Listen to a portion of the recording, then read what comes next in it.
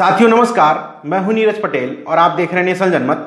तानाशाह सरकारों से टकराने वाले शख्स को सबसे ज़्यादा डर होता है जेल जाने का, क्योंकि उससे उसकी सामाजिक प्रतिष्ठा जुड़ी होती है। लेकिन निर्दोष होते हुए भी अगर कोई व्यक्ति जेल तक हो आता है तो वहाँ से निकलने के बाद वो उतना ही साहसी, हिम्मती हो जाता है, उसके अंदर हौसला भी आ जाता है कि वो सच्चाई की आवाज़ बुलंद करे। मैं बात कर रहा हूँ डॉक्टर कफील की, जो वीआरडी मेडिकल कॉलेज में जब सत्तर बच्चों की मौत हुई थी, ऑक्सीजन की कमी होने के कारण उस समय हीरो बने थे, लेकिन योगी आदित्यनाथ की आँख में किरकिरी बन गए थे और उन्होंने उनको जेल भेज दिया था। मैं उन्हीं डॉक्टर कफील की कहानी लेकर आया हूँ, जो सिस्टम ने जिनके साथ भद्दा मज़ाक किया है। भद्दा मज़ाक शब्द इसलिए इस्तेमाल कर रहा हूँ क्योंकि डॉक्टर कफील पर योगी आदित्यनाथ की सरकार आरोप लगाती है कि आपने अपना जो काम था, स्वास्थ्य सेवा देने का, उसमें शिथिलता बरती है, उनके ऊपर भ्रष्टाचार के आरोप भी लगाए गए। ये भी आरोप लगा गया, लगाया गया कि वार्ड नंबर 100 जहाँ से सबसे ज़्यादा बच्चों की मौत हुई है, उसके इंचार्ज भी डॉक्टर कफील थे।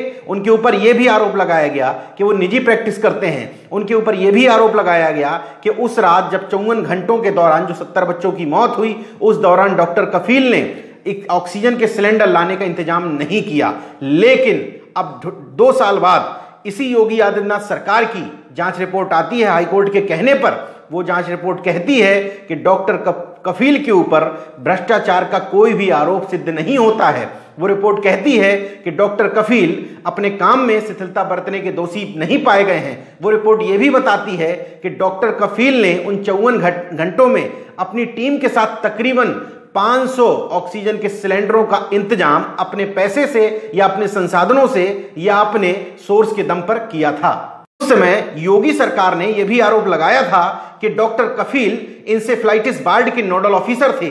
इसलिए उनकी ज़िम्मेदारी थी कि अगर ऑक्सीजन गैस के सिलेंडर कम हो रहे थे तो सरकार को समय रहते वो इसकी सूचना देते।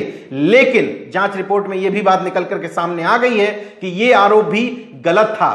डॉक्टर कफील नोडल ऑफिसर थे ही नहीं, उस समय नोडल ऑफिसर थे डॉक्टर भूपेंद्र शर्मा। तो सवाल यह उठता है, क्या कुछ लोगों को बचाने के लिए डॉक्टर कफील जैसे लोगों को बलि का बकरा बनाया गया था? सबसे बड़ा सवाल तो यह उठता है कि जब डॉक्टर कफील पर काम में लापरवाही बरतने के भ्रष्टाचार के आरोप हैं ही नहीं, जब जाँच रिपोर्ट खुद यह कहती है कि डॉक्टर कफील ने अपने व्यक्तिगत संसाधनों का उपयोग करके ऑक्सीजन गैस सिलेंडरों का इस्तेमाल किया था और उन चौवन घंटों में, तमाम बच्चों को बचाने में एक मददगार के तौर पर, मसीहा के तौर पर सामने आए थे तो फिर आखिर योगी आदित्यनाथ की सरकार ने उनको जेल क्यों भेजा था? तो क्या डॉक्टर कफील को सिर्फ़ इस वजह से जेल भेज दिया गया था कि उनका नाम डॉक्टर कफील था और उनको जेल भेजे जाने से मुख्यमंत्री योगी आदित्यनाथ के जो वोटर हैं, वो खुश होते हैं। न सिर्फ़ सामंती सोच के वोटर खुश होते हैं, बल्कि तमाम दलित और पिछड़े जो भारतीय जनता पार्टी को अपना हितैषी समझ के वोट देते हैं, वो भी डॉक्टर कफील के जेल भेजे जाने से खुश नज़र आ रहे थे। अब मैं आपको यह बता देता हूँ कि तारीख दर, तारीख इस व्यक्ति के साथ कैसे गलत हुआ? 10 अगस्त 2017 को बीआरडी मेडिकल कॉलेज से खबर आती है कि इंसेफ्लाइटिस यानी कि जापानी बुखार के कारण वहाँ 70 बच्चों की मौत हो गई है। जब इसकी तह तक जाया जाता है तो पता यह चलता है कि ऑक्सीजन सिलेंडर की कमी होने की वजह से इन 70 बच्चों की मौत हुई थी। सिद्धार्थनाथ सिंह, जो उस समय स्वास्थ्य मंत्री थे, वो लगातार इस बात से इनकार करते हैं कि नहीं, इस महीने में तो ऐसी मौतें हो जाया करती हैं। योगी आदित्यनाथ, चूँकि गोरखपुर था, वो भी इस मामले में लिपापोती करने की कोशिश करते हैं। लेकिन जब वो देखते हैं कि डॉक्टर कफील इस मामले में हीरो बन रहे हैं तो 22 अगस्त 2017 को उनको सस्पेंड कर देते हैं। कहते हैं कि आपने काम में शिथिलता बरती थी। इसके बाद उनके ऊपर भ्रष्टाचार के तमाम आरोप लगाते हुए 2 सितंबर 2017 को जेल भेज दिया जाता है। 25 अप्रैल 2018 को तकरीबन 8-9 महीने के बाद उनको हाईकोर्ट से जमानत मिलती है। मार्च 2019 को इलाहाबाद हाईकोर्ट सरकार को आदेश देती है कि जल्द से जल्द विभागीय जाँच जो इनके खिलाफ हो रही है, उसको पूरी करें और 90 दिन के अंदर डॉक्टर कफील को जो जाँच की गई है, वो सौंप दें। मार्च 2019 में कहा जाता है। 18 अप्रैल 2019 को जाँच रिपोर्ट बना भी ली जाती है, लेकिन डॉक्टर कफील को वो जाँच रिपोर्ट दी जाती है 26 सितंबर 2019 को, यानी कि जाँच रिपोर्ट आने के बाद भी पाँच छह महीने वो जाँच रिपोर्ट दबाए रखा जाता है। उसकी वजह शायद ये हो सकती है कि उस समय पूरे देश में लोकसभा के चुनाव चल रहे थे और लोकसभा चुनाव के दौरान डॉक्टर कफील को अगर इस तरीके से विभागीय क्लीन चिट मिलने की सूचना बाहर आती तो हो सकता है ये उत्तर प्रदेश में मुख्यमंत्री योगी आदित्यनाथ और उनकी सरकार के लिए हितकर साबित नहीं होता। डॉक्टर कफील को 25 अप्रैल 2018 को जमानत मिलती है और 10 जून 2018 को उनके भाई पर जानलेवा हमला कर दिया जाता है, जिसमें उनको तीन गोलियाँ लगती हैं। डॉक्टर कफील को जब पुलिस से सहयोग नहीं मिलता तो उनको प्रेस कॉन्फ्रेंस करनी पड़ती है और वो आरोप लगाते हैं इस हमले का। बीजेपी के सांसद कमलेश पासवान और उनके एक साथी पर सीधे सीधे डॉक्टर कफील कहते हैं कि पूरा प्रशासन उनके परिवार की जान के पीछे पड़ा हुआ है। उनके भाई के ऊपर हमला किया गया, गोलियाँ मारी गई, लेकिन ना पुलिस प्रशासन ने कॉपरेट किया, ना अस्पताल प्रशासन ने कॉपरेट किया, जबकि जिस रात ये गोली मारी गई थी 10 जून को, उस रात मुख्यमंत्री योगी आदित्यनाथ अपने मठ में मौजूद थे। खुद समझ लीजिए कि योगी आदित्यनाथ जब अपने मठ में मौजूद थे तो उस समय गोरखपुर की सुरक्षा व्यवस्था किस स्तर की रही होगी?